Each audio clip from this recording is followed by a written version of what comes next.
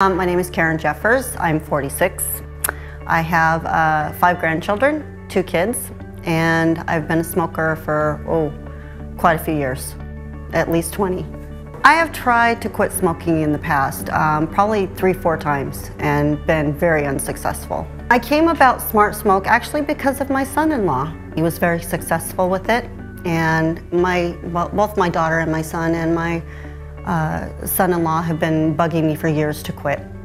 So as a birthday present to me, they took me uh, to the mall and to the Smart Smoke and I tried out different uh, levels of, of nicotine and found one that worked for me. And I started using it and I've been smoke-free for, let's see, it was in November, for three months now. And I couldn't, I couldn't be happier. Smart Smoke. No secondhand smoke no tobacco, no odor. Visit one of our area mall locations or Airway Heights today for a free demonstration. Smoke smarter with Smart Smoke.